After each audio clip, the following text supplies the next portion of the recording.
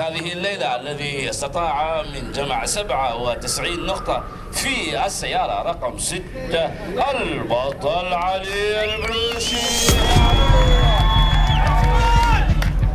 شكرا جزيلا. إذا ندعو الآن جميع المتسابقين للحضور إلى منصة التدريب.